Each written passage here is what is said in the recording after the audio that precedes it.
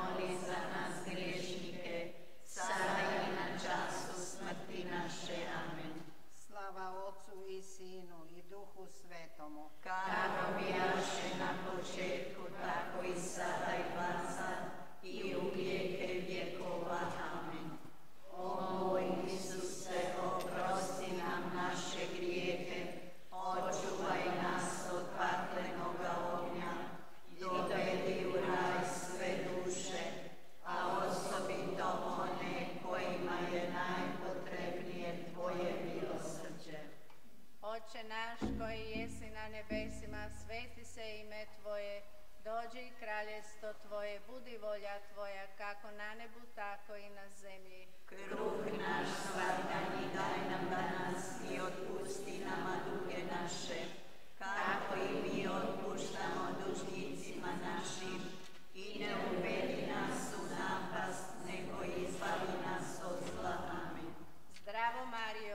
milosti puna, gospodin s tobom, blagoslovljena ti među ženama i blagoslovljen plod utrobe tvoje, Isus, koga si djevice Elizabeti u pohode nosila. Sveta Marijo, Majko Božja, moli za nas grešnike, sada i na času smrti naše. Amen. Zdravo Marijo, milosti puna, gospodin s tobom, blagoslovljena ti među ženama i blagoslovljen plod utrobe Tvoje, Isus. Sveta Marijo, Majko Božja, moli za nas griješnike, sada i na času smrti naše. Amen. Zdravo Marijo, milosti puna, gospodin s Tobom, blagoslovljena ti među ženama i blagoslovljen plod utrobe Tvoje, Isus. Sveta Marijo, Majko Božja, moli za nas griješnike, sada i na času smrti naše. Amen.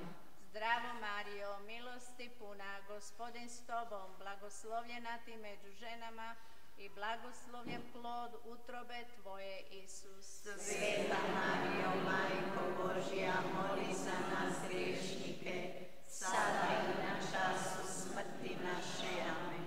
Zdravo Marijo, milosti puna, gospodin s Tobom, blagoslovljena ti među ženama i blagoslovljen plod utrobe Tvoje, Isus. Sveta Marijo, Majko Božja, moli za nas griješnike, sada i na času smrti naše. Amen.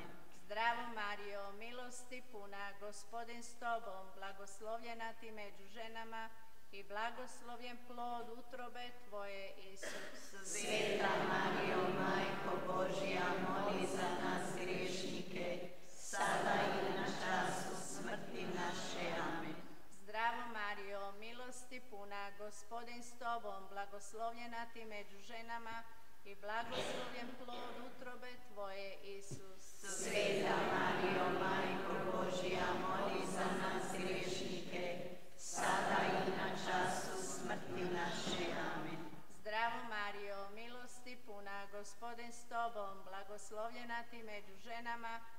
i blagoslovljen plod utrobe Tvoje, Isus. Sveta Marijo, Majko Božja, moli za nas griješnike, sada i na času smrti naše. Amen. Zdravo Marijo, milosti puna, gospodin s Tobom, blagoslovljena ti među ženama i blagoslovljen plod utrobe Tvoje, Isus. Sveta Marijo, Majko Božja, moli za nas griješnike, sada i na času smrti naše. Amen. Zdravo Marijo, milosti puna, gospodin s Tobom, blagoslovljena ti među ženama i blagoslovljen plod utrobe Tvoje, Isus. Sveta Marijo, Majko Božja, moli za nas griješnike, sada i na času smrti naše. Amen. Slava Otcu i Sinu i Duhu Svetomu. Kako bijaše na početku, tako i sada i vazda, i u vijeke vjekova. Amen. O O moj Isuse, oprosti nam naše grijehe, očuvaj nas od paklenoga ognja, dovedi u raj sve duše, a osobito one kojima je najpotrebnije Tvoje milosrđe. Oče naš koji jesi na nebesima, sveti se ime Tvoje, dođi kraljestvo Tvoje, budi volja Tvoja kako na nebu, tako i na zemlji. Kruh naš svakodnevni daj nam danas i otpusti nama duge naše,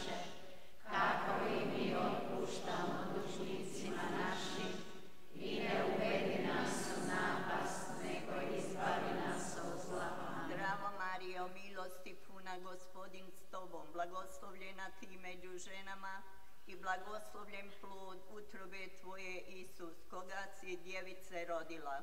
Sveta Marijo, Majko Božja, moli za nas grešnike, sada i na času smrti naše. Amen. Zdravo Marijo, milosti puna, gospodin s Tobom, blagoslovljena Ti među ženama i blagoslovljen plod utrobe Tvoje, Isus. Sveta Marijo, Majko Božja, moli za nas grešnike, sada i na času smrti naše. Amen. Zdravo Marijo, milosti puna, gospodin s Tobom, blagoslovljena Ti među ženama i blagoslovljen plod utrobe Tvoje, Isus. Sveta Marijo, Majko Božja, moli za nas grešnike, sada i na času smrti naše.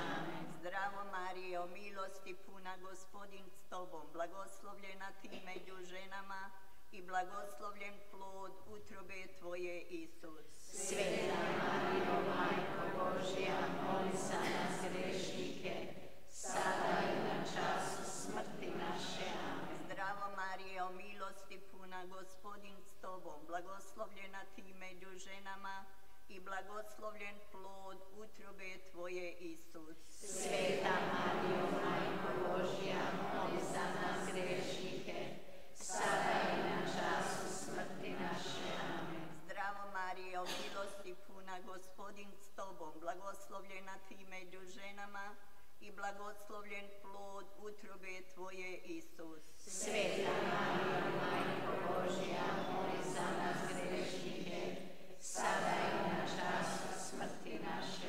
Amen. Milosti puna, gospodin s Tobom, blagoslovljena Ti među ženama i blagoslovljen plod utrobe Tvoje, Isus. Sveta Marijo, Majko Božja, moli za nas grešnike, sada i na času smrti naše. Amen. Zdravo Marijo, milosti puna, gospodin s Tobom, blagoslovljena Ti među ženama i blagoslovljen plod utrobe Tvoje, Isus. Sveta Marijo, Majko Božja, moli za nas grešnike, sada i na času smrti naše. Amen. Zdravo Marijo, milosti puna, gospodin s Tobom, blagoslovljena Ti među ženama i blagoslovljen plod utrobe Tvoje, Isus. Sveta Marijo, Majko Božja, moli za nas grešnike, sada i na času smrti naše. Amen. Zdravo Marijo, gospodin s Tobom, blagoslovljena Ti među ženama i blagoslovljen plod utrobe Tvoje, Isus. Sveta Marijo, Majko Božja, moli za nas grešnike, sada i na času smrti naše. Amen. Slava Otcu i Sinu i Duhu Svetomu. Kako jaše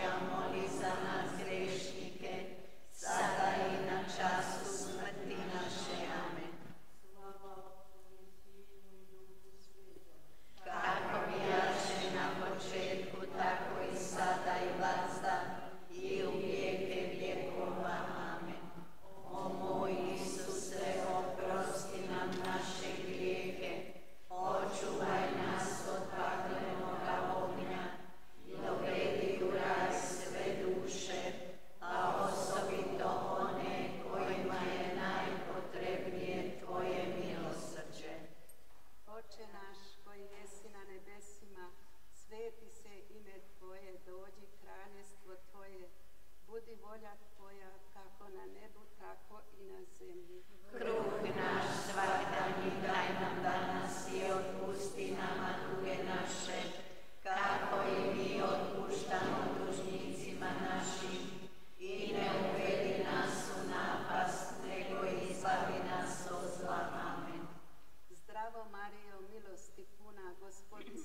blagoslovljena ti među ženama i blagoslovljen plod utrobe tvoje, Isus, koga si djevice u hramu našla. Sveta Marijo, Majko Božja, moli za nas grešnike, sada i na času smrti naše. Amen. Zdravo Marijo, milosti puna, gospodin s tobom, blagoslovljena ti među ženama i blagoslovljen plod utrobe tvoje, Isus. Sveta Marijo, Majko Božja, moli za nas grešnike, sada i na času smrti naše. Amen. Zdravo Marijo, milosti puna, gospodin s tobom, blagoslovljena ti među ženama i blagoslovljen plod utrobe tvoje, Isus. Sveta Marijo, Majko Božja, moli za nas grešnike, sada i na času smrti naše. Amen. Zdravo Marijo, milosti puna, gospodin s tobom, blagoslovljena ti među ženama i blagoslovljen plod utrobe tvoje, Isus. Sveta Marijo, Majko Božja, moli za nas grešnike, sada i na času smrti naše. Amen. Zdravo Marijo, milosti puna, gospodin s tobom, blagoslovljena ti među ženama i blagoslovljen plod utrobe tvoje, Isus. Sveta Marijo, Majko Božja, moli za nas grešnike, sada i na času smrti naše. Amen. Zdravo Marijo, milosti puna, gospodin s tobom, blagoslovljena ti među ženama i blagoslovljen plod utrobe tvoje, Isus. Sveta Marijo, Majko Božja, moli za nas grešnike, sada i na času smrti naše. Amen. Zdravo Marijo, milosti puna, gospodin s tobom, blagoslovljena ti među ženama i blagoslovljen plod utrobe tvoje, Isus. Sveta Marijo, Majko Božja, moli za nas grešnike, sada i na času smrti naše. Amen. Zdravo Marijo, milosti puna, gospodin s tobom, blagoslovljena ti među ženama i blagoslovljen plod utrobe tvoje, Isus. Sveta Marijo, Majko Božja, moli za nas grešnike, sada i na času smrti naše. Amen. Zdravo Marijo, milosti puna, gospodin s tobom, blagoslovljena ti među ženama i blagoslovljen plod utrobe tvoje, Isus. Sveta Marijo, Majko Božja, moli za nas grešnike, sada i na času smrti naše. Amen. Zdravo Marijo, milosti puna, gospodin s tobom, blagoslovljena ti među ženama i blagoslovljen plod utrobe tvoje, Isus. Sveta Marijo, Majko Božja, moli za nas grešnike, sada i na času smrti naše. Amen. Slava Otcu i Sinu i Duhu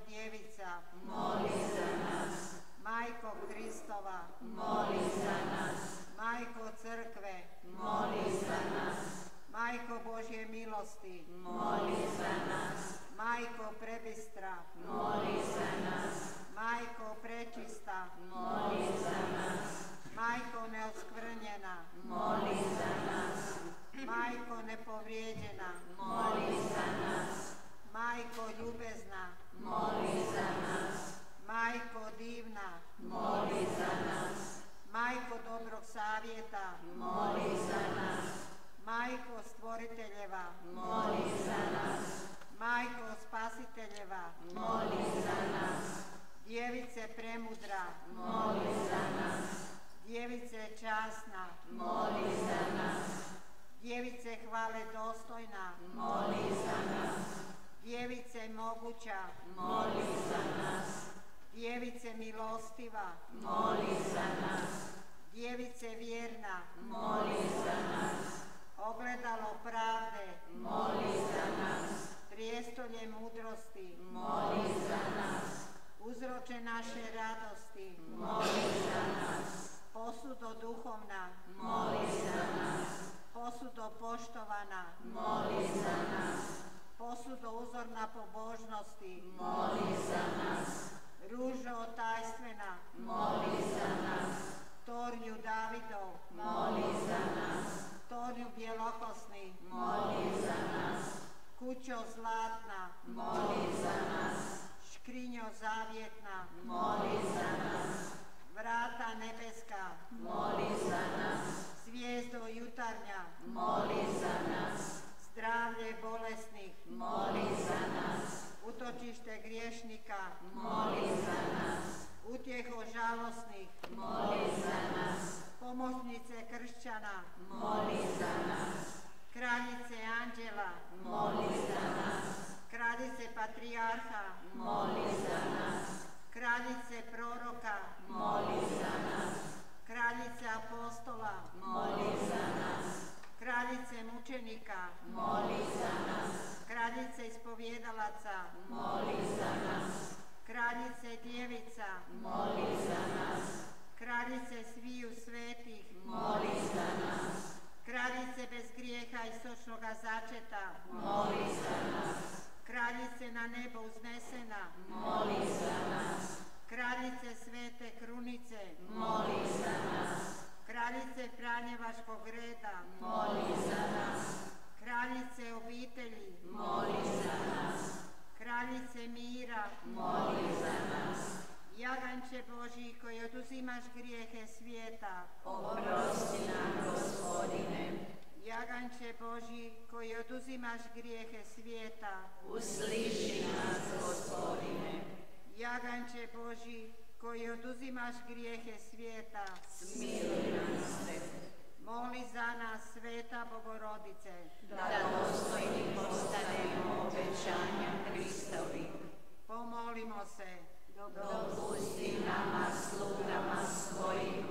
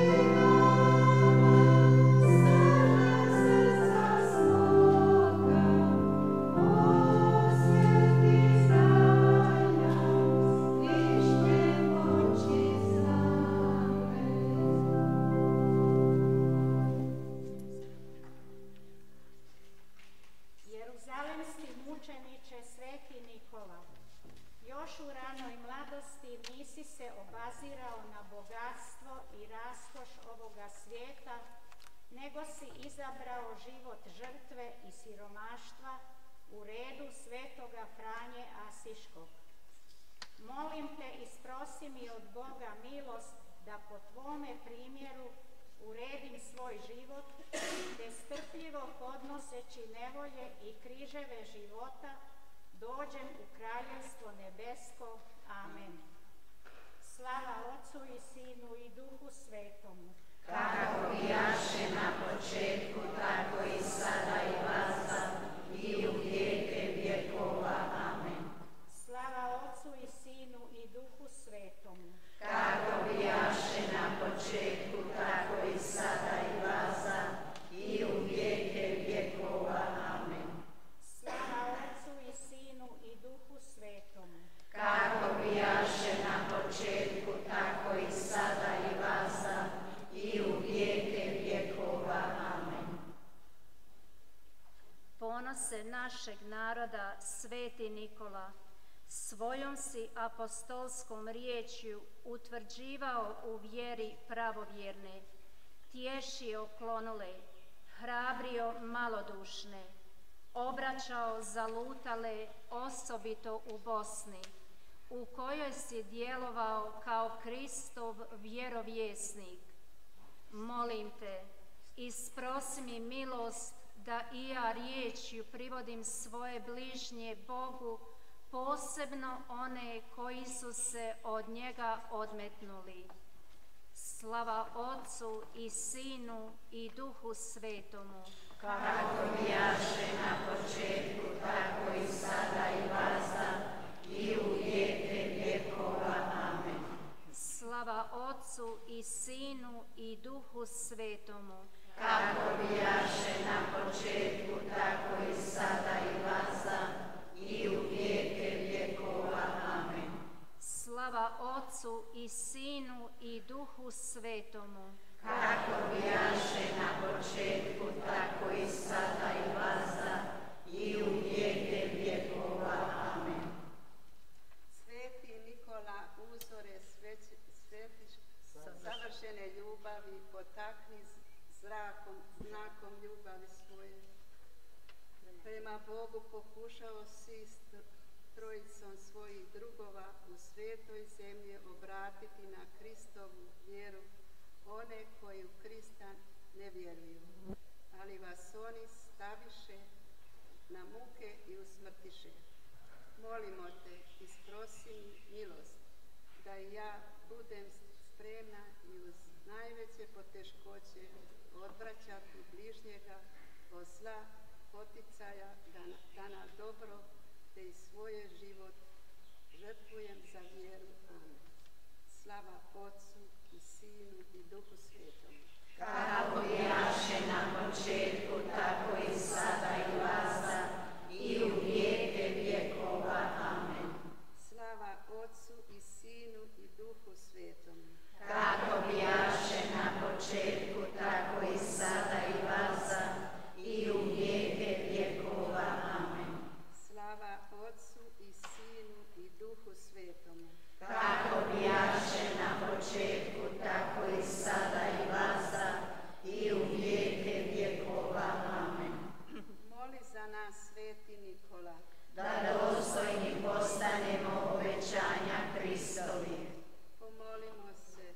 Bože, Ti si svetog Nikolu proslavio revnošću za širenje vjere i palmu mučeništva. Daj da po njegovu primjeru i zagovoru nadvladamo sve protištine života i Tvojom pomoću stignemo Tebi, koji si jedini život, po Kristu Gospodinu našemu. Amen. Krunica svetom Nikolu Taveliću. Sveti Nikola, ti si u najranijoj mladosti upoznao istinu i mudrost koja dolazi od Boga. Isprosi mi od gospodina pravu mudrost kojoj je početak strah Božji. Amen. Slava Otcu i Sinu i Duhu Svetomu. Kako bijaše na početku, tako i sada i vasa, i.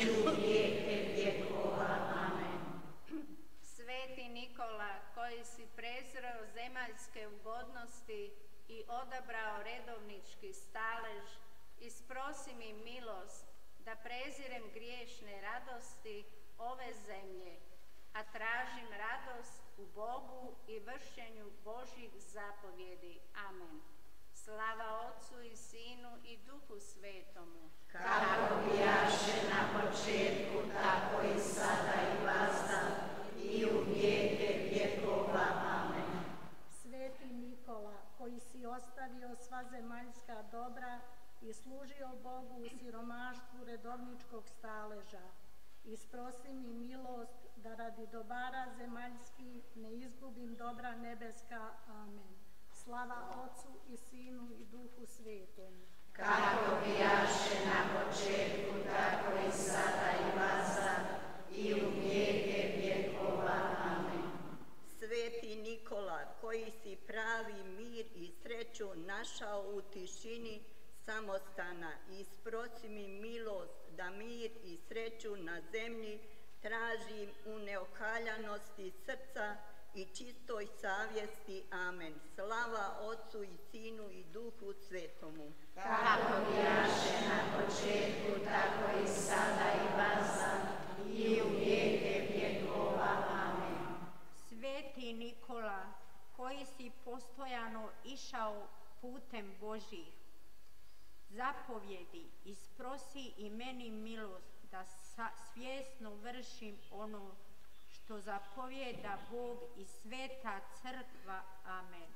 Slava Otcu i Sinu i Duhu Svetomu. Kako bijaše na početku, tako i sada i vasa, i u vijeke vjekova.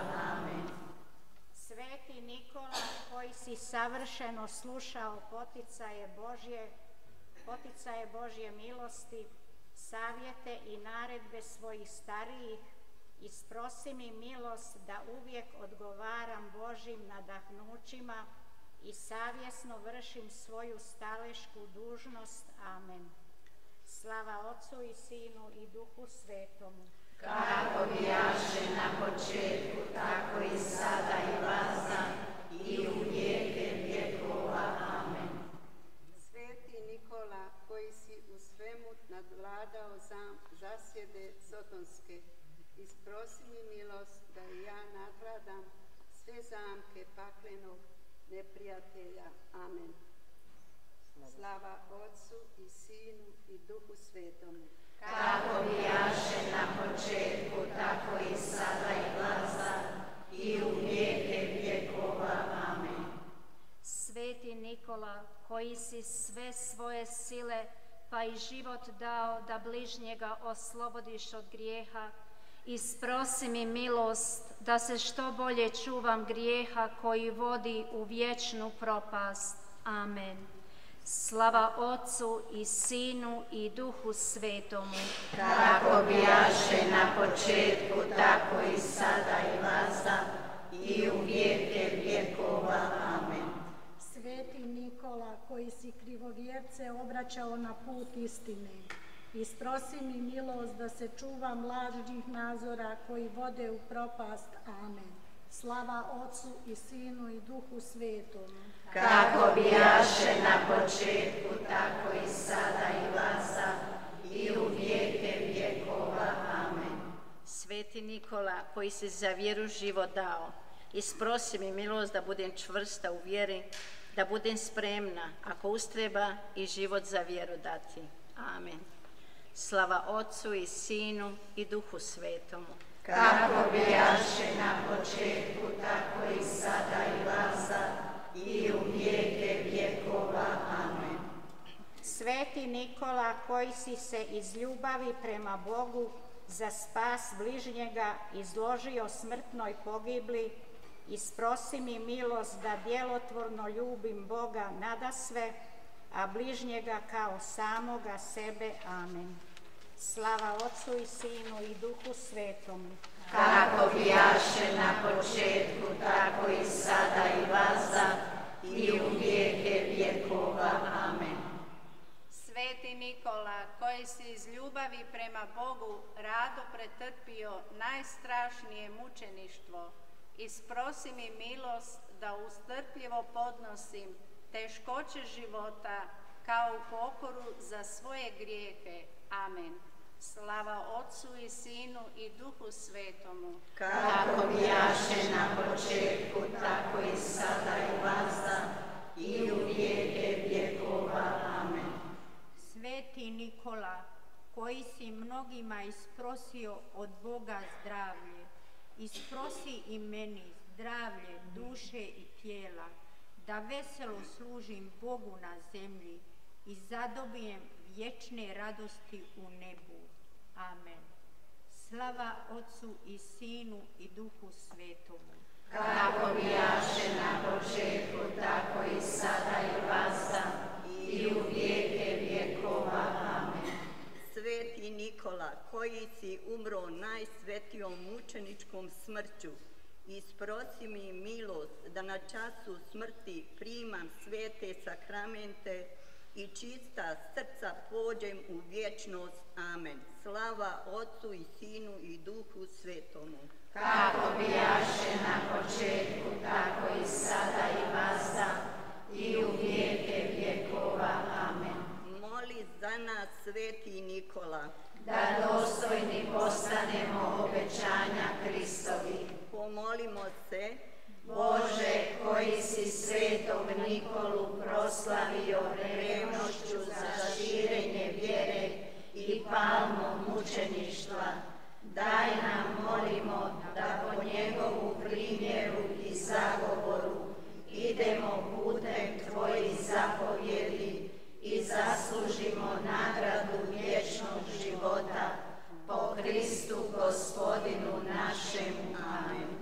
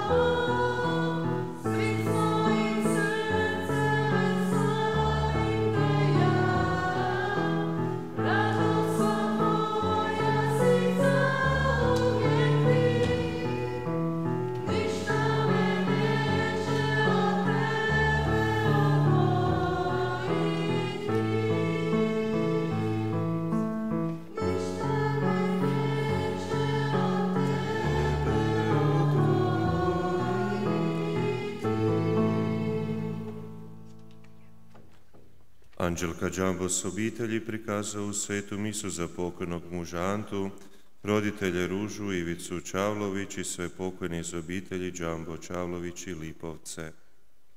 U ime Oca i Sina i Duha Svetoga. Gospodin s vama. Draga braćo i sestre, evo treći je dan naše trodnevne duhovne priprave za svetkovinu našega zaštitnika, svetog Nikolu Tavelića, prvog hrvatskog sveca i zaštitnika hrvatskog naroda. Pa na početku ove svete mise priznajmo gospodinu slabosti i grijehe i zamolimo ga za oproštenje.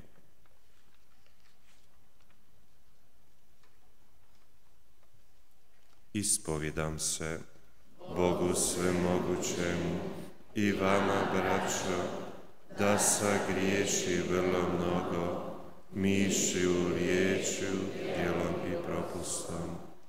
Moj grijeh, moj grijeh, moj preveliki grijeh.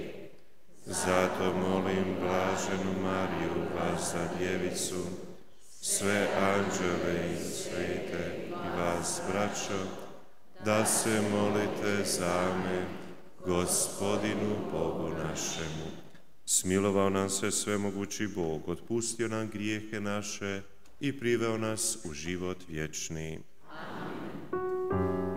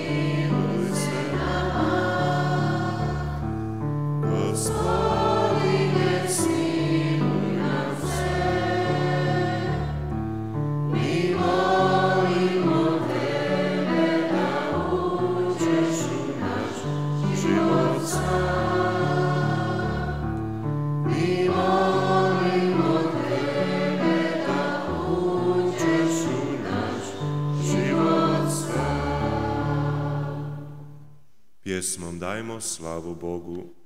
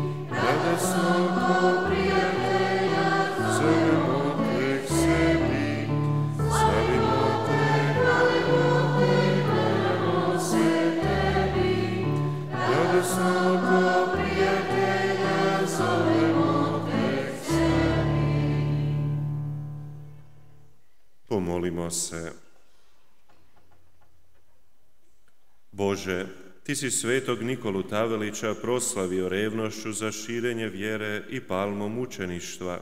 Daj da po njegovu zagovoru nadvladamo sve protivštine života i Kristovom strpljivošću stignemo Tebi jedinom pravom životu. Po gospodinu našemu Isusu Kristu, Sinu Tvome, koji s ovom živi i kraljuje u jedinstvu Duha Svetoga Bog, posve vijeke vjekova.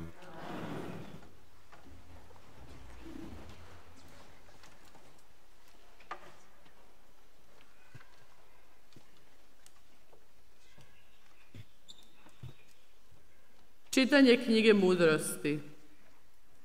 Duše su pravednika u ruci Božjoj i njih se ne dotiče muka nikakva. Očima se bezbotničkim čini da oni umiru i njihov odlazak s ovog svijeta kao nesreća. I to što nas napuštaju kao propast, ali oni su u miru. Ako su u očima ljudskim bili kažnjeni, Nada im je puna besmrtnosti. Za malo muke zadobili su dobra velika, jer Bog ih je stavio na kušnju i našao da su ga dostojni. Iskušao ih je kao zlato u taljici i primio ih kao žetvu paljenicu. Zato će se u vrijeme posjeta njegova zasjati, te će vrcati kao iskre u strnjici. Sudit će pucima i vladati narodima i gospodin će kraljevati na njima uvijeke. Riječ gospodnja. Bogu hvala. Pomoć je naša u imenu gospodnje. Pomoć je naša u imenu gospodnje. Da nije gospodin za nas bio, neka slobodno rekne Izrael, da nije gospodin za nas bio, kad se ljudi digoše proti nama, žive bi nas progutali. Kad je uskipio bijes njihov na nas, voda bi nas prekrila, bujica bi nas odnijela, vode pobjesnjele, sve nas potopile. Pomoć je naša u imenu Blagoslovljen gospodin koji nas ne dade za plijen zubima njihovim. Pomoć je naša u imenu. Duša je naša poput ptice umakla iz zamke lovačke. Raskinula se zamka, a mi umako smo. Pomoć je naša u imenu gospodnjem koji stvori nebo i zemlju. Pomoć je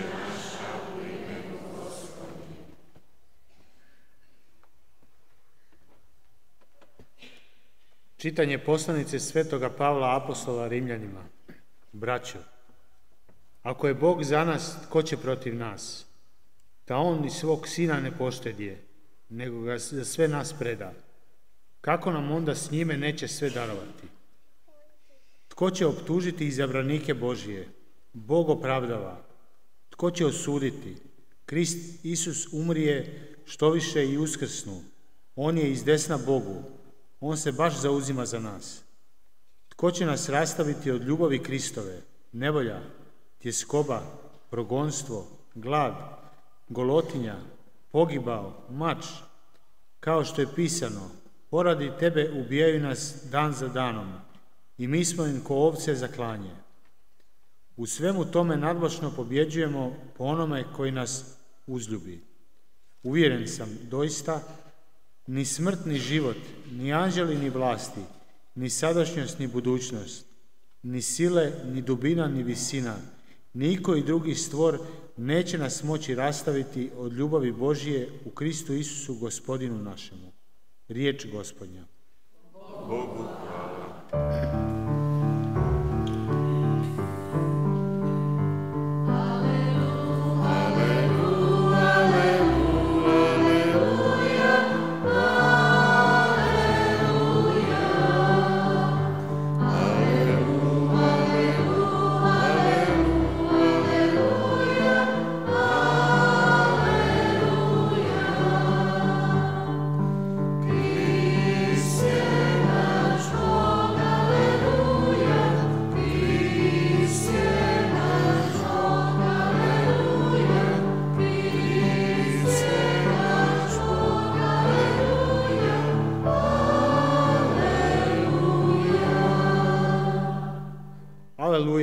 Tebe Boga hvalimo, Tebe Gospodina ispovjedamo. Tebe Gospodine hvali svjetla vojska mučenika. Aleluja. Gospodin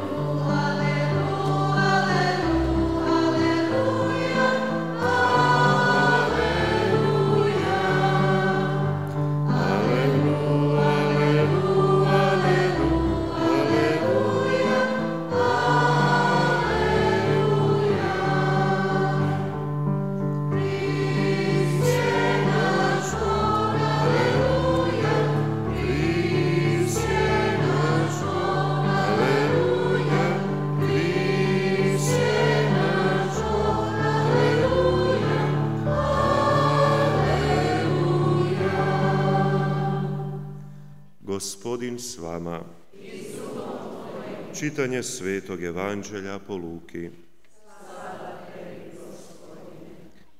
U ono vrijeme reče Isus svojim učenicima, hoće li tko za mnom, neka se odreče samoga sebe, neka danomice uzima križ svoj i neka ide za mnom. Tko hoće život svoj spasiti, izgubit će ga, a tko izgubi život svoj poradi mene, taj će ga spasiti. Ta što koristi čovjek ako sav svijet zadobije, a sebe samoga izgubi ili sebe na, sebi naudi?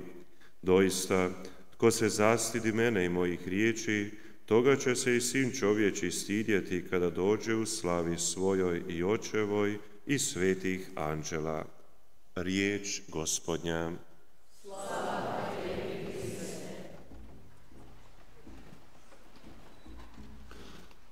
Draga braćo i sestre, evo treći je dan naše trodnevnice, pa samo evo da se prisjetimo.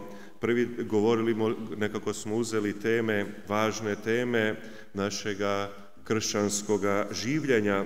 Prvi dan smo pričali o kraljestvu nebeskom, kraljevstvo Božje, dakle kao jedna prevažna tema i Isusov govor, Isusovi nastupi, njegov evo i možemo reći zemaljski život je podložio tome da izgrađuje kraljevstvo Božje. Nadalje, evo jučer smo uzeli temu križa, kako smo evo i rekli, dakle crkva ne može biti vjerodostojna ako nije raspeta zajedno s Kristom, ako nije proganjana, ako nije pljuvana, ako nije dakle kao crna ovca u očima ovoga svijeta, to smo evo dakle mi pozvani uzimati svakodnevno svoj križ kao kršćani. Danas ćemo, evo kao treću važnu temu za naše kršćansko življenje, uzeti temu vjere. Pa evo dakle u Novom Zavjetu pojam vjera, bilo kao imenica ili glagol ili pridjev, spominje se oko šesto puta to se odnosi ono kada se govori kao ili u negativnom smislu nevjeran, malovjeran, ali većinom dakle u pozitivnom smislu kao vjera, kao vjernost, kao vjeran. Pa evo pojam vjere u Novome Zavjetu, dakle kada se koristi, znači kao iskrena pobožnost, kršćanska krepost, vjernost kršćanskom učenju. A Pavo evo uz vjeru kao krepost vrlo često navodi i pojam ljubavi. Kaže dakle čovjek ne može imati ispravnu vjeru prema Bogu ako to nije povezano s ljubavlju jer se onda to pretvara dakle u jedan fanatizam iz nekog straha, dakle vjerovanje iz straha, a ne iz čiste ljubavi. No za istinsku pobožnost nije dovoljno samo prihvaćanje vjerskih istina, nego i djelovanje u skladu s njima. To na osobit način naglašava apostol Jakov u svojoj poslanici, dakle kada kaže da je vjera bez, bez djela mrtva. A evo tek u nekolicini poslanica pod pojmom vjere misli se dakle na skup vjerskih istina, dakle ono što kršćanin vjeruje, u ono vrijeme još nije bilo toga, ali evo mi danas to možemo nazvati dogmama, dakle ono što smo obvezni vjerovati. Ali evo, znači, iako se evo nekako vjera, velim, povezuje, dakle, evo i uz djelovanje i skup onoga što čovjek vjeruje, na prvome mjestu za kršćanina pitanje života u vjeri se poistovjećuje, dakle, s onim Kristovim pitanjem koje je uputio apostolima.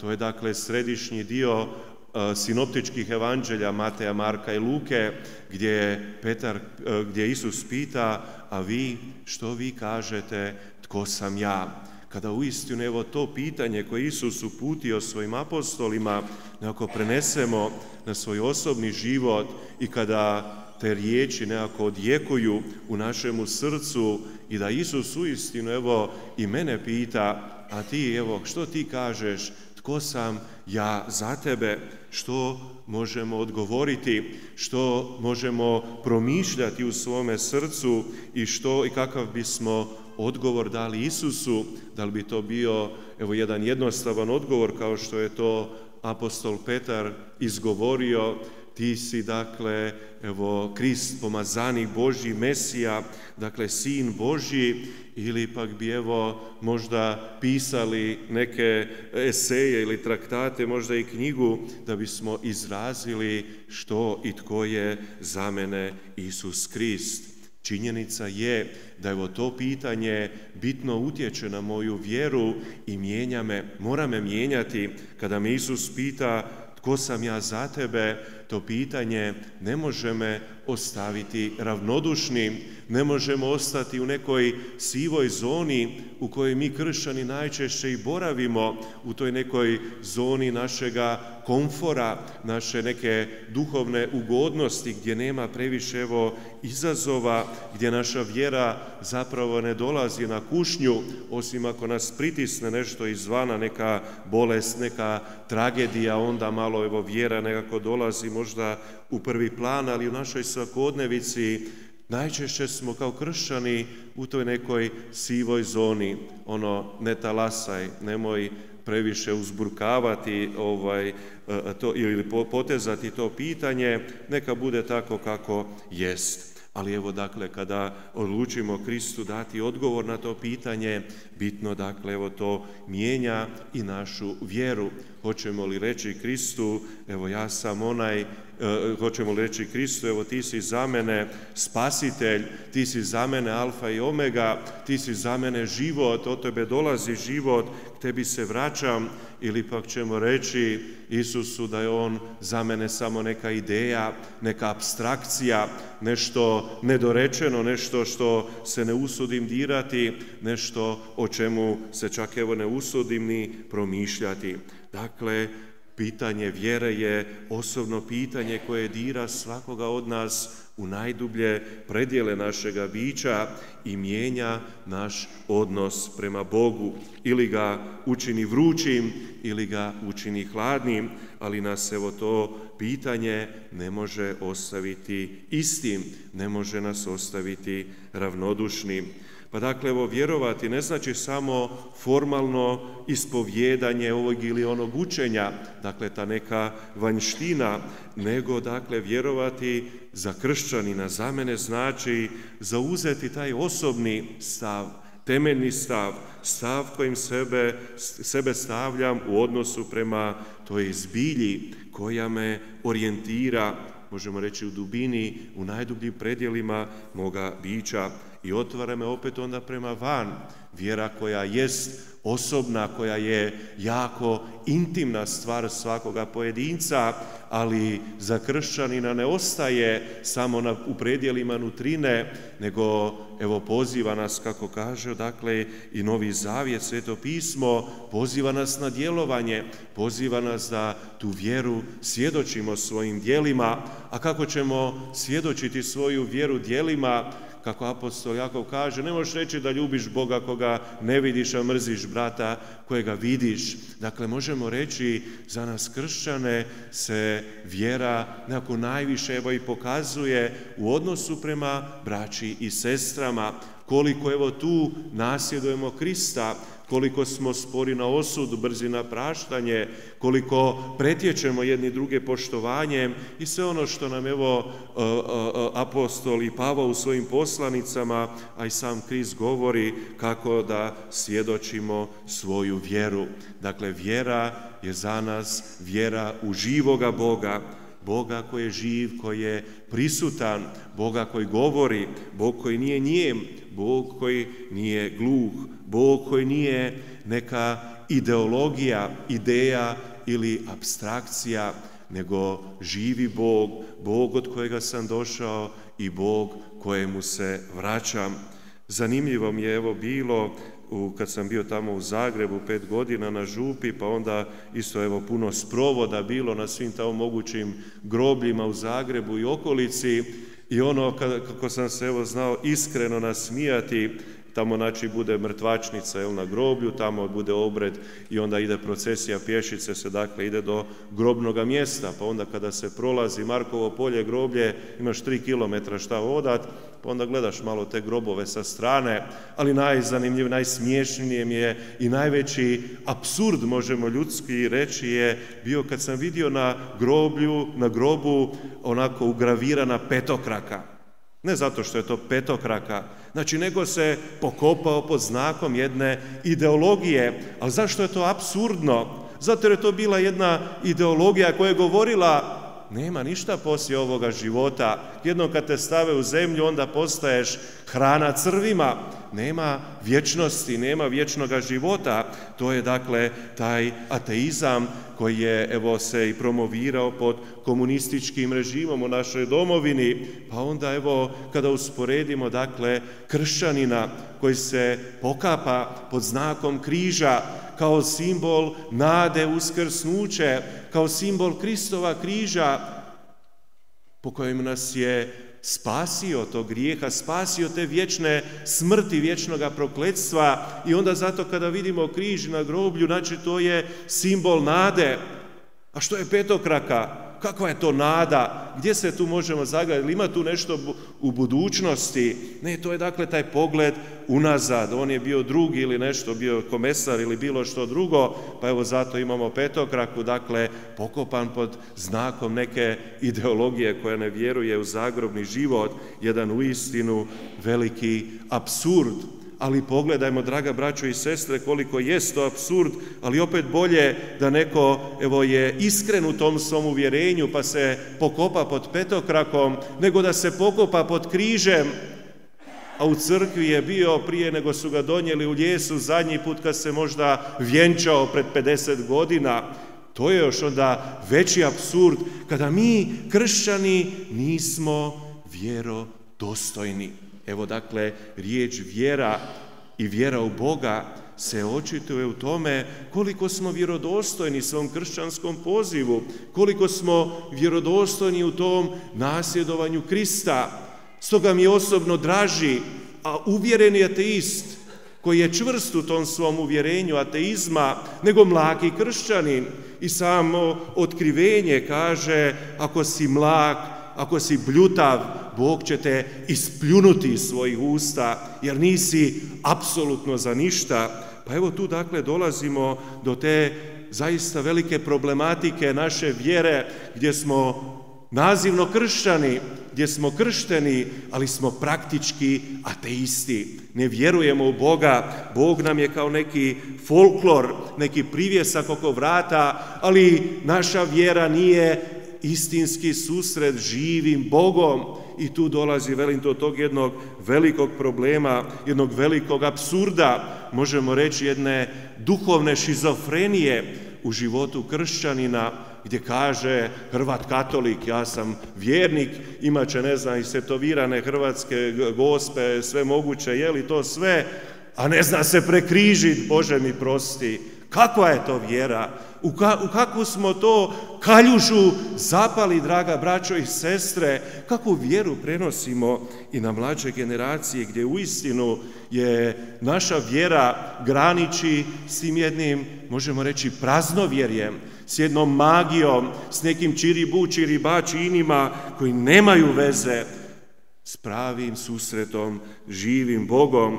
Evo jedan njemački pjesnik, Emanuel von Giebel, je lijepo rekao, vjera koju zatvoriš vrata, neminovno se vraća kroz prozor u obliku praznovjerja. I to je u istinu tako. Čovjek jest bitno religiozno biće. Čovjek, evo, je bitno onaj koji se nekako pita čak i najokorjeli ateisti, pa ima li možda nečega poslije, pa i ako je znanstvenik pa promatra svemir ili molekule, atome i šta ja znam šta sve ne, pa se pita, pa ima to gdje sve nekako je u nekoj harmoniji, nekom skladu, to je morao neko napraviti, neki neko inteligentno biće, neki, kako ga filozofi nazivaju, nepokrenuti pokretač ili počelo bez počela ili tako nešto, Dakle, opet velim čovjek je bitno religiozno biće, ali onda evo kada napustimo vjeru, kako kaže, zatvorimo vrata vjeri, dolazi neminovno praznovjerje, jer čovjek ne trpi vakum, kada napustimo vjeru tu prazninu ispunja nečim drugim, a to je, nažalost, draga braćo i sestre, evo najčešće praznovjerje. I stoga, evo, kada govorimo o, ne znam, statistikama u crkvi, koliko ima katolika, koliko ima vjernika, a koliko je, evo, postotak onih koji uistinu, evo, žive svoju vjeru, onda ćemo moći ustvrditi s jednom sigurnošću da, nažalost, evo, velika većina katolika je zapravo praznovjerna, je zapravo oni koji su, možemo reći, praktički ateisti, koji ne vjeruju u Boga, jer vraćamo se na ono, dakle, što je vjera, susret, istinski susret, osobni susret s Bogom i s tog osobnog susreta s Bogom, velim čovjek, ne može ostati ravnodušan ili će ga taj susret promijeniti na taj način da će ga odbaciti od Boga, da će reći, ispisujem se iz crkve, ne želim ništa imati s kršćanstvom, ne želim čuti za Boga, jer ga toliko evo pogađa taj susret s Bogom, on to jako rijetko, gotovo i nikada, ali najčešće se događa iz tog istinskog susreta s Bogom da Bog te privuče kada istinski spoznaš Boga kao milosrdnoga Oca koji te ljubi, koji ti oprašta sve ono što si napravio u svom životu, sve ono čega se stidiš, sve ono što ti nekad suze natjera na oči kad kažeš sam sebi koliko sam bio budala kada sam bio mlađi ili ovakav ili onakav. Bog ti to sve oprašta, On ti ne kaže da si ti budala, On ti kaže ti si moj ljubljeni sin, ti si moja ljubljena kćer, ti si moje ljubljeno dijete, ja te volim i želim da budeš u mojoj blizini. To je dakle onda ta prava i istinska vjera. No, u moderno vrijeme sada susrećemo se dakle s raznim oblicima nevjere. Nevjera kao evo najčešće kao taj jedan ateizam, dakle gdje se ili kategorički odbacuje postojanje Boga ili bilo koji drugih božanstava ili onostranosti duhovnog svijeta i dakle ovaj, ono što je puno opasnije od tog, možemo reći, militantnoga ateizma, imamo dakle one partij nekih znanstvenika koji pišu knjige, drže tribine, jel, kako je kršćanstvo izmišljotina i da će čovječanstvo napokon porodisati punim plućima kada religija postane relikt prošlosti, neka stvar djetinje, e, e, djetinjeg svačanja ovoga svijeta, ali znanost kako će napredovati, kako ćemo poznavati tajne svemira, spoznaćemo da Boga nema, da Bog nije potreban i onda će čovječanstvo prodisati. Imamo takve ovaj, militantne ateiste, ali oni uopće nisu nikakav problem. Jest, zavode mase, zavode one koji su mlaki kršćani, zavode oni koji su jel, na klimavim nogama, ali kada se suprotstave znanstveno s teolozima, filozofima, onda oni nemaju šanse, jer im je metodologija potpuno kriva, jer govore o nečemu o čemu nemaju pojma. Ono što je puno veća opasnost od velim toga ateizma je indiferentnost, ono baš me briga, svejedno mi je, postoji li Bog ili ne, tako mi je svejedno. Ja evo nekako sam sam sebi, možemo reći, taj jedan mali Bog u svom životu, ja donosim odluke za svoj život, ja nekako planiram svoj život, zacrtavam put svojega života, a Bog ako postoji, do sad ga nisam vidio, nije se uplitao u moj život, neću ja niti u njegov i tako ćemo evo dalje živjeti. Nažalost, evo, braćo i sestre, u takvu vrstu ateizma, odnosno nevjere, mnogi evo isto tako kršćani odlaze i padaju u, jedne, u takve zamke koje možemo reći da su još najopasnije zamke sotonine, jer velim sotona kada tu skoči sada ovako na sredinu, onako s, s rogovima, s repom i počne nas, jel, kako kad ovi naši momci, jel, budu krampusi ovoga za svetog Nikolu, svi bi se prepali, vidi đavla, odmah, Bože, pomozi mi, odmah bi se odmah okrenuli vjeri, svi bi postali najbolji vjernici, jel tako? Ali kad dođe neprimjetno, kad ti dođe, evo ti bombončić, evo tebi čokoladica, evo tebi Ferrari, evo tebi kuća trokatnica, evo tebi, ne znam, vikendica na moru, hm, onda prihvaćamo. Dakle, on dolazi tako neprimjetno, primamljivo, jel? Dakle, da ga prihvatimo, a jednom kad mu malo samo očkrinemo vrata, on odmah uđe u naše srce, odmah uđe u naše živote i odmah nas zaposjedne. Pa evo, draga braćo i sestre, evo to je, dakle, velim, taj suvremeni ateizam koji je kao fenomen mase, ali evo, dakle, makar je on i agresivan i onda mislimo, u, oni su nam neprijatelji, oni ugrožavaju našu vjeru. Ne, identifirizam, dakle, ono kada kažemo svejedno mi je, baš me briga, to je opasnost za vjeru, dakle, to je ta jedna mlakost koja nije dobra. Pa onda kada pogledamo vjeru e, e, kroz sakramente crkve, Bože mi prosti, počinjemo od krštenja. Roditelji dovedu dijete na krštenje, evo ja sam tu 7 godina, nikad i u životu nisam vidio, ni u crkvi, ne znam ko su, šta su, dolaze, donose dijete na krštenje.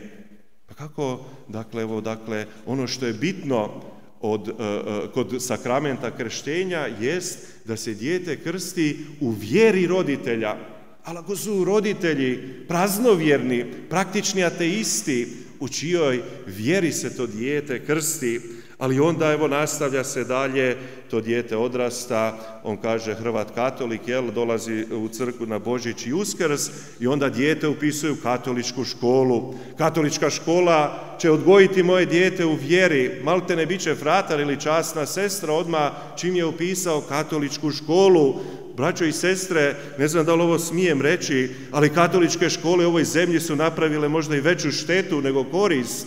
Upravo zbog toga jer se roditelji onda odriču odgoja vjere. Škola će odgojiti moje dijete u vjeri. Ja ću vam reći da evo ovoga i djeca koja ne dolaze na misu svojim roditeljima, makar idu najbolje katoličke škole, nema nikakve apsolutno koristi što se tiče vjere. Ne zna se prekriž, ne zna se ispovijediti, braćo i sestre. Tamo se ne uči vjera, vjera se uči, dakle, kroz sakramente crkve, u obitelji, zajednici, gdje su braća i sestre koji evo žive svoju vjeru. A onda da ne spominjem dalje, dakle, e, prve priče krizme, onda ajde idemo, preskočimo to, to i znamo sve, ajmo dakle na vjenčanja. Isto tako, dolaze tu, e, vjenčavaju se ljudi koje nikad u životu nisam vidio, dakle, velim, pričam, 7 godina sam već tu, znači, 7 godina ne znaju niti kako se ja zovem, znači, nikad nisu bili u ovoj crkvi, ali eto, žele se vjenčati u crkvi, žele sklopiti sakramenat ženitbe u crkvi, Preduvjet za sakramenat je, dakle, odnosno odgovor na sakramenat koji je Božja milost koja dolazi k nama je naš odgovor vjerom. Ako nema našeg odgovora vjerom, ako ne prihvaćamo sakramente vjerom, onda se izrugujemo od sakramenta, onda sakramenat postaje praznovjerje, pa se žele vjenčati u crkvi radi slikanja, radi parkinga dobroga, jel, ovoga, radi toga da, evo šta će ljudi reći, on je Hrvat katolik pa mora se vjenčati u crkvi, a veli ne zna se prekrižiti, jel, i onda isto tako, dakle, iz razno raznih razloga, prisila roditelja, djedova, baka, moraš se vjenčati u crkvi, ali bako, mama, tata, meni crkva ništa ne znači, meni Bog ništa ne znači, ja, sam, ja ne vjerujem u Boga, nema veze, sinko, samo stjenče u crkvi, da ne bi ljudi pričali, jel? Jer si kršten, si kršten si, ali od krštenja poslije nisi bio u crkvi, jel? Dakle, Vidimo kroz te sakramente da se evo događa isto tako jedna, jedno ismijavanje iz tih sakramenata, odnosno gdje i sakramenti nekada nažalost služe da se potiče taj ateizam da se potiče praznovjerje, ma sve ćemo krstiti, sve ćemo vjenčati, neće, sad ću je Bože nešto pitati ili, ili nešto prokomentirati ili reći, ali evo događalo mi se u istinu gdje sam stvarno mislio s nekima reći, ne možete se vjenčati u crkvi jer ste nevjernici, jer ne vjerujete u Boga. Evo to se nekako malo evo i tako iz razgovora isto tako može, može ovaj, e, e, e, saznati. Jel? Isto tako, evo kad sam spominjao ove katoličke škole, evo imao sam jednu situaciju, dođe čovjek, isto tako hrvatski grbovi, jel? Hajduk, Dinamo, sve, i ovoga dođe u ured, kaže, dobar dan, ja bi trebao svećenika, meni dođe u ured, jel? Ja, ja se ono, ajde, idem se malo ja praviti blesav, a što ga trebate, jel? Pa treba mi za dijete, jel, hoću upisati u katoličku školu, treba mi ono, jel, svjedočanstvo svećenika da mi tu dolazimo u crkvu, da smo vjernici i to sve. Ja kažem, pa evo ja sam svećenik i ovdje sam već sedam godina, a ne znate ni kako se zove, ne zna ni da, kak izgleda, dakle, svećenik njegov kojemu dolazi, da on posvjedoči, da potpišem ovaj čovjek, njegova obitelj i njegovo dijete, evo, ide u katoličku školu, ja svjedočim svojim potpisom da on dolazi u crku, da on super vjernik i sve to super, jel, ima vjeru, nikakvih problema neće biti. To je samo, evo da vam kažem, znači profil ljudi koji isto tako, evo, gledaju, a moram dijete upisati u katoličku školu, ali toga, velim, nema vjere niti v od te vjere. Pa ajmo sada malo na našega Nikolu Tavelića i time ćemo onda evo završiti. Nikola Tavelić je dakle bio mučenik. Mučeništvo nije neko isprazno junačenje, ono što smo evo jučer pričali po temom križa, znači nije to neka bolesna želja da okončam svoj život, nije to neki sadizam i to, nego evo Sveti Nikola išao s ciljem da uspije, da obrati kadiju i evo muslimanski svijet na Krista, na kršćanstvo, on je htio uspjeti, pa smo rekli, pomno je planirao kada su tamo bila malo ta neka politička previranja oko vlasti, pa je mislio, evo tu sad uskočimo mi, neće nas ono, ovoga, neće imati toliko vremena, samo će reći, ajde može, može i faljen Isus, jel? I onda išao je e, kod Kadije na blagdan svetoga Martina biskupa, dakle jučer kojega smo slavili, zato jer je evo sveti Martin isto tako bio onaj koji je pomirivao, koji je e, bio veliki evo i propovjednik u svojoj biskupiji, pomirivao zaračene strane, pa su išli baš na blagdan svetog Martina da imaju nebesku zaštitu tog velikog sveca i da uspiju u svome naumu. Nisu išli s naumom tako da evo doćemo tamo, rećemo ovaj, e, e, Muhamed je lažni prorok i ode glava i mi idemo lijepo u nebo.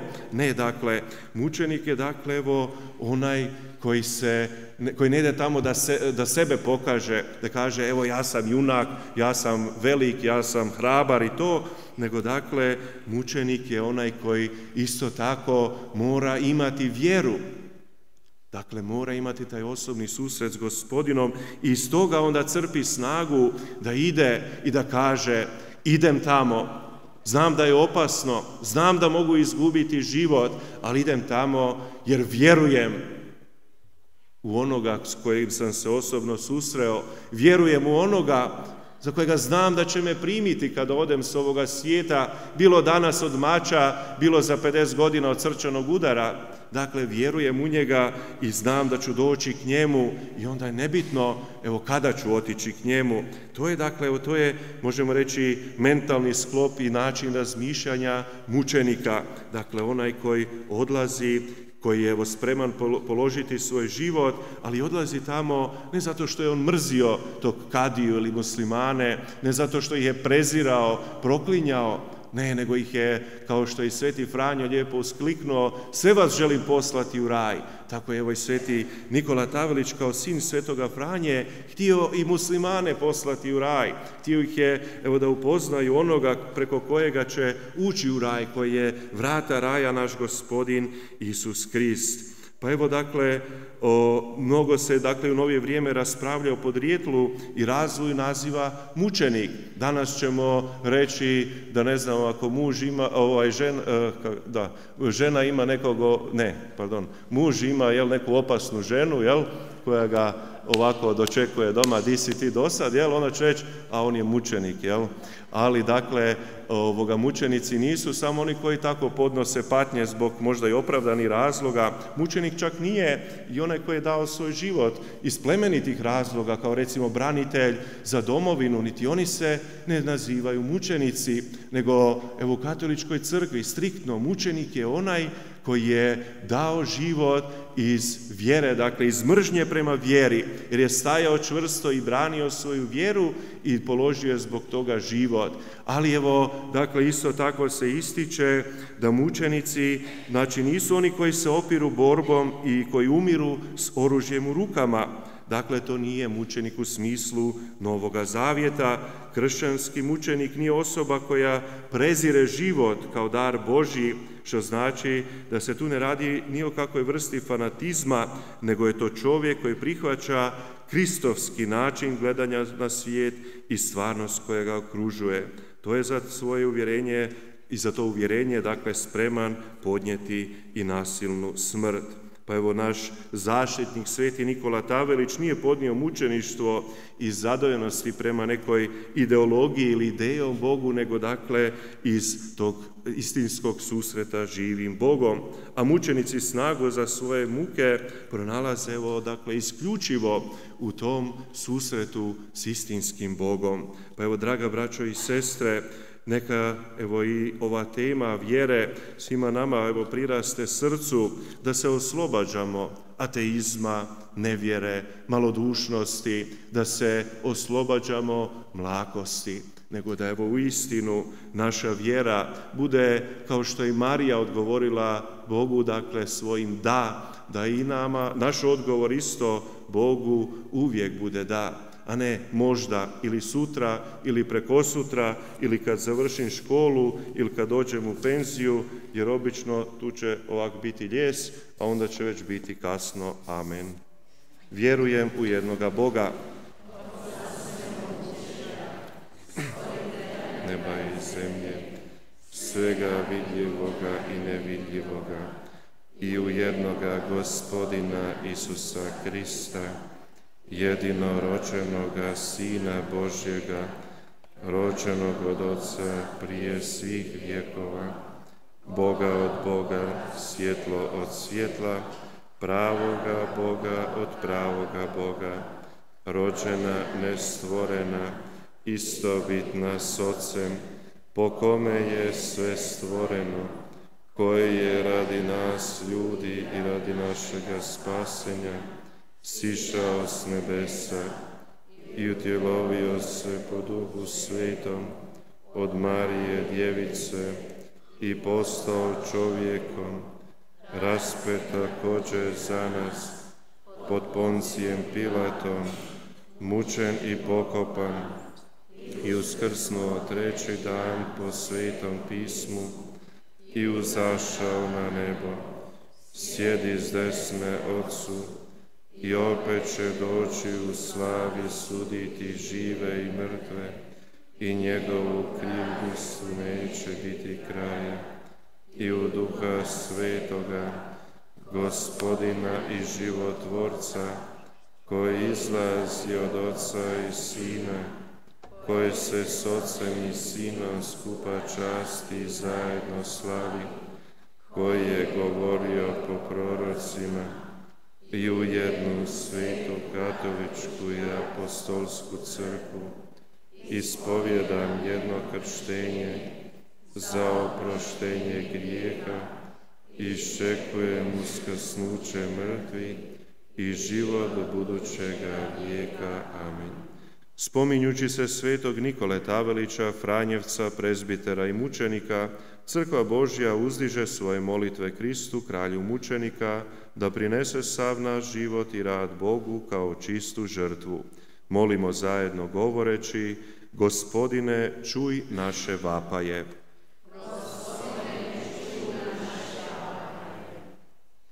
Kriste Gospodine, Ti si dragovoljno položio svoj život za spas svijeta.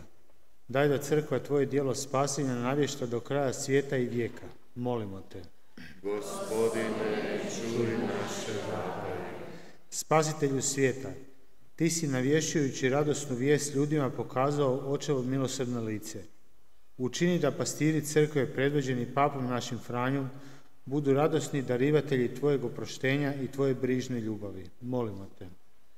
Gospodine, čuj naše Isuse Kriste, Ti si proslavljeni gospodar povijesti. Privedi k svjetlu istine sve ljude koji su na vlasti da te priznaju jedinim gospodinom. Molim te. Gospodine,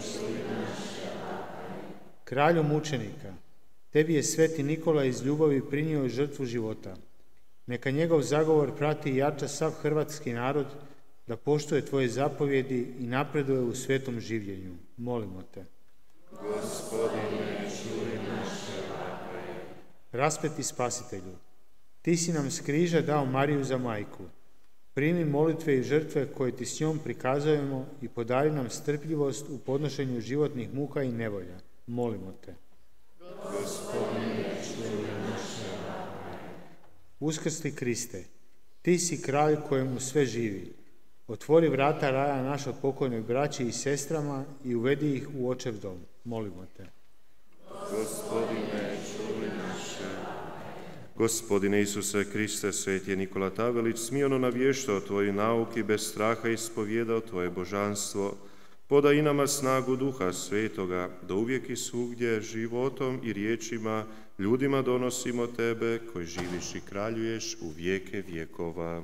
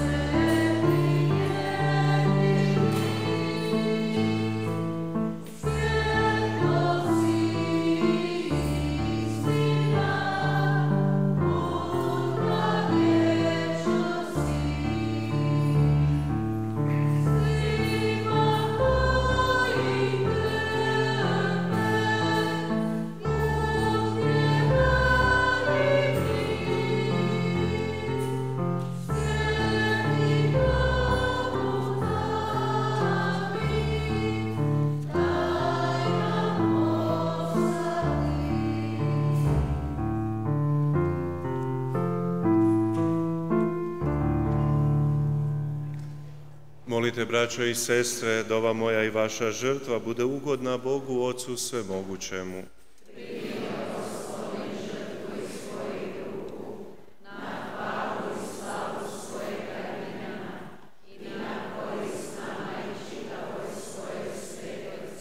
Preblagi Bože, blagoslovi ove darove, a nas utvrdi u onoj vjeri koju je sveti Nikola Tavelić posvjedočio mučeničkom krvlju po Kristu gospodinu našemu.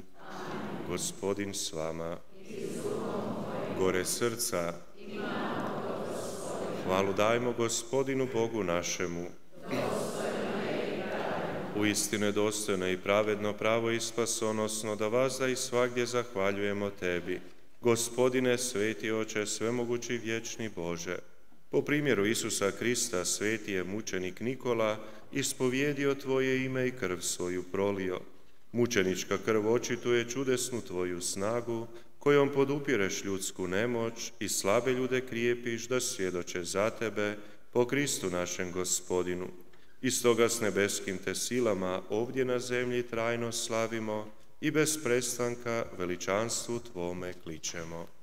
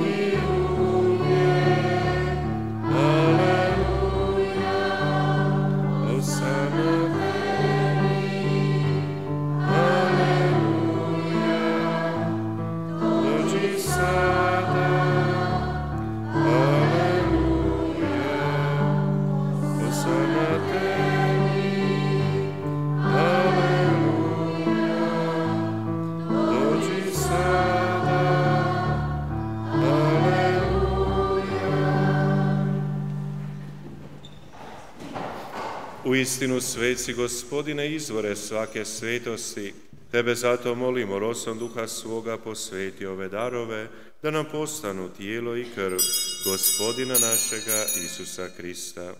Kad se dragovoljno predao nam ukon, uze kruh, tebi zahvali razlomi i dade učenicima svojim govoreći, uzmite i jedite od ovoga svi, ovo je moje tijelo koje će se za vas predati.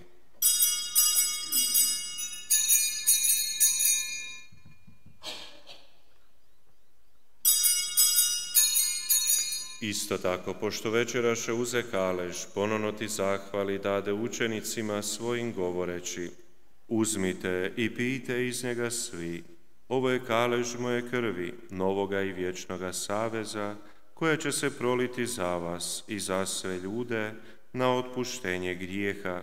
Ovo činite meni na spomen.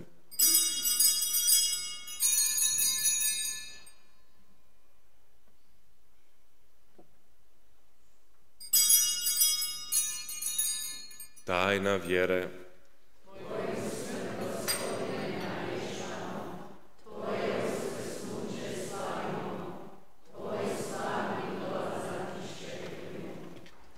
Slaveći dakle spomen smrti i uskrsnuća Tvoga Sina, prinosimo Ti, Gospodine, krug života i kalež spasenja i zahvaljujemo Ti što si nas pozvao da stojimo pred Tobom i Tebi služimo.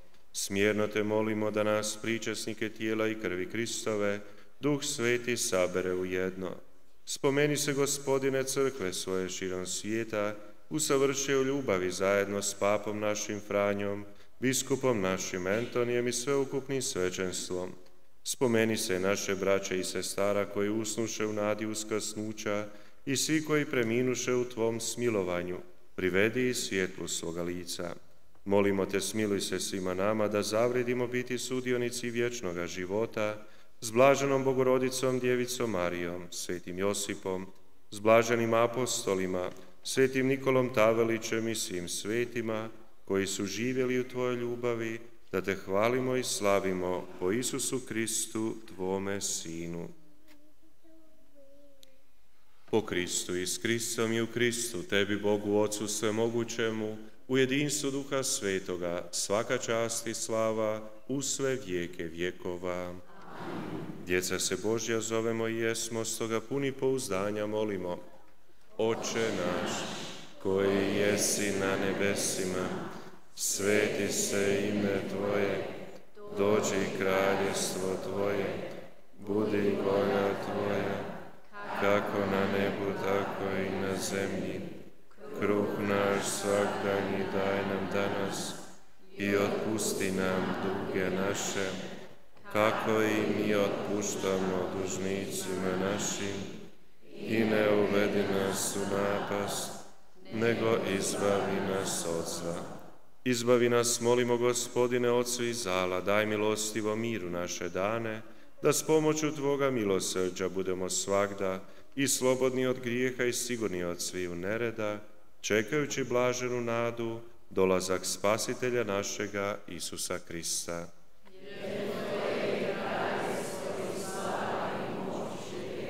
Gospodine Isuse Kriste, Ti si rekao svojim apostolima, mir vam ostavljam, mir vam svoj dajem. Molimo, ne gledaj naše grijehe, nego vjeru svoje crkve, daruj mir i jedinstvo, kako je volja Tvoja, koji živiš i kraljuješ u vijeke vjekova. Mir gospodnji bio vazda s vama. Pružite mir jedni drugima.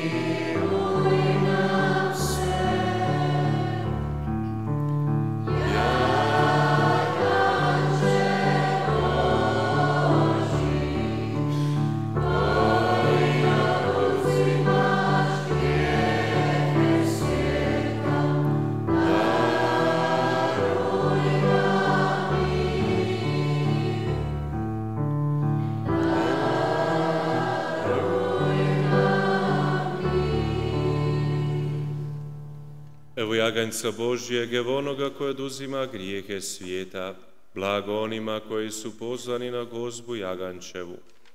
Gospodine, nisam dostojan da uničeš krov moj, nego samo reci riječi i ozdravit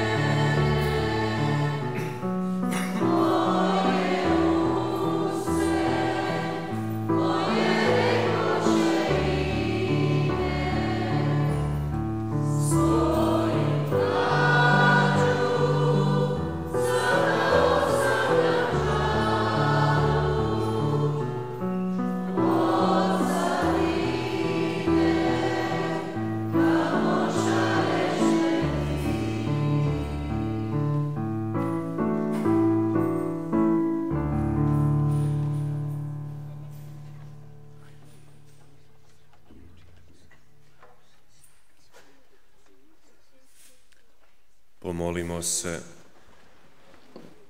Gospodine, primili smo sveta otajstva. Molimo te da nam udjele onu snagu duha kojom je sveti Nikola Tavelić tebi vjerno služio i muke nadvladao. Po Kristu gospodinu našemu. Izvolite sjesti, poslušajte obavijesti. Kroz ovaj tjedan slavimo kalendarski, dakle, Sveti Nikola Tavelić 14. to je ponedjeljak, u četvrtak svetu Elizabetu Ugarsku, koja je zaštitnica Franjevačkih trećoredaca. U petak ćemo imati na večer misu s povodom dana sjećanja na žrtve domovinskog rata. To je dakle 18. studeni, a iduća nedjelja je e, posljednja nedjelja u liturgijskoj godini Isus Krist, kralj svega stvorenja. A Zahvaljujem Joži Vraniću na farabanju betona kod kapelice, Anti Vukmanu, Nikoli Spudiću, Anti Stojiću, Svečku Frankoviću, Stanku Arbanasu i Dragi Dražiću na postavljanju kamena ovih kamenih klupa oko crkve, Braji Vukmanu na posudbi Viljuškara, Vinku Blaževiću na popravku prozora na centru i Anti Krstičeviću koji nam je napunio boce za plin za naš novi ražanj. Podsjećam evo da nam za dva tjedna, dakle 27. studenoga, u pastoralni pohod dolazi nadbiskup Monsignor Anthony Fisher, slavit će misu u 10.30 sati i blagoslovit će ovo raspelo tamo vani kod ulaza u crku. Nakon mise bit će druženje u konobi, pa evo tko može neka donese kolače ili pitu ili nareske neke na pladnju ovako, jer evo nadbiskup neće moći e, ostati na ručku, mora žuriti dalje, pa da ga ne pošaljemo gladnog dalje, evo kod konobe ćemo se malo podružiti, pa evo e, ne znam koliko će nas evo biti, ali evo, ko može pitu, kolače, nareske, nešto malo, dakle, evo, ko, ko, ko želi, ko može, neka donese. A isto tako, bilo bi stvarno lijepo da vas što više dođe u narodnim nošnjama, kako bi evo i nadbiskupu pokazali da njegujemo evo i našu tradiciju, naše običaje i da smo evo istinu ponosni na naše porijeklo. Pa isto bi molio da e, što više i djece iz Linđa dođe i da evo dođu do sakristije najkasnije do 10 sati kako bi napravili lijepi evo i doček za nadbiskupa. Od prošloga ponedjeljka. Evo, mogli ste početi e, upisivati svoje misne nakane za iduću godinu. Dakle, to možete učiniti ili osobnim dolaskom u naš ured za vrijeme uredovnog vremena ili preko telefona isto tako u uredovno vrijeme ili nakon subotnje i nedeljnih svetih misa. Jedna evo promjena koju ćemo započeti od iduće godine, dakle od sada će od iduće godine će svaka srijeda, svake srijede bit će večernja misa u 7 sati na večer. Što se tiče blagoslova obitelji, evo ove godine organiziramo malo na drugačiji način u suradnji s našim drugim centrima u Summerhillu i Blacktownu, što znači evo bit će jedan raspored za cijeli Sidney, a evo otprilike znači od 27. do 31. prosinca blagoslivljat ćemo okolicu Summerhilla, dakle ono mjesta koje je inače Summerhill, pa, spadaju pod Summerhill, recimo tako, od 2. do 7. siječnja E, okolicu St. John's Parka i od 9. do 14. siječnja okolicu Blacktowna. Vi se dakle i dalje prijavljujete gdje ste se do sada prijavljivali, evo uskoro ćemo i staviti prijavnice i rasporede, a dakle isto bit će kao i prošle godine zbog velikog odaziva i onaj zajednički blagoslov obitelji u crkvi, a to će biti u ponedjeljak 26. prosinca, to je dakle Sveti Stjepan, dan nakon Božića, u 6.30 na večer. To je ujedno dakle Boxing Day u Australiji pa je neradni dan pa vjerujem da će mnogima odgovarati. U slučaju dakle kada je blagoslo, kada ste po rasporedu planirate ići negdje na odmor, malo na more ili nešto ili niste kod kuće, evo možete se onda odlučiti za ovaj e, način blagoslova obitelji, dakle da cijela obitelj dođe u crkvu. Imat ćemo misu i zajednički onda blagoslov. I isto tako evo htio bi zahvaliti evo svima e, koji su na bilo koji način sudjelovali u organizaciji i radu oko piknika. evo naše vrijedne volontere, isto tako znači časne sestre koje su bile uključene evo i oko pripreme i trodnevnice i kićenja crkve. Naše zahvaljujem pastoralnom vijeću, čitačima, e, našemu zboru, ministrantima, volonterima u studiju, sakupljačima milostinje, evo i svima ostalima koji su danas došli pripremati stolove, pripremati meso, oni koji će bdjeti evo e, ovu noć, peći e, meso za sutra. I isto tako evo svi koji su pomagali u kuhinji. I isto tako pozivam vas da za sutra donesete isto tako kolače kao što je već običaj, kao što već evo znate. I, aha, tu je. Već, evo, možda ste neki upoznati s tim što je to Magnify 90. To je dakle katolički duhovni program za žene koji traje 90 dana od 9. siječnja do Uskrsa. Program je na hrvatskom i na engleskom jeziku, a informativni susret ovdje u našemu centru je iduće subote 19. studenoga u 5 sati popodne. Više informacije imate na oglasnoj ploči izvan crkve. Pozivamo evo sve žene da se priključe. I tako smo. Evo, braćo i sestre, imali našu trudnevnicu. Baš sam primijetio, prvi dan sam najkraće pričao, jučer malo duže, danas najduže. A zamislite da je devetnica bila, aha, da je deveti dan, tri sata bi bili tu u crkvi, aha. Ali evo, lijepo smo se evo i duhovno pripremili, pa evo, vjera danas tema, a mi vjerujemo da sutra neće biti kiše, jel? Barem do 3-4 popodne, onda može fajrunt napraviti, pa evo molite i na tu nakanu da nam evo bude lijepo vrijeme, malo se oblaci navlače, plaše nas, tako da neću nikog vidjeti sutra s kišobranom da dođe, jel? Jer to je znak da ne vjerujemo da će biti lijepo vrijeme. Pa evo, neka nas sve čuva i prati Boži blagoslov po zagovoru svetog našeg Nikole Tavelića. Gospodin s vama. Bog, slava i radovanje svetaca dao vam je danas svetkovati ovaj blagdan, on neka vam udjeli svoj blagoslov. Zagovor svetog Nikole Tavelića neka vas oslobodi sadašnjih zala i primjer njegova života neka vas pouči da uvijek spremno služite Bogu i braći ljudima. Sa svima svetima uživali mir i radost vječne domovine. U njoj se djeca crkve združuju s građanima neba na veselje svega naroda Božjega. I blagoslov Boga svemogućega, Oca i Sina i Duha Svetoga sašao na vas i ostao vas da. Idite u miru.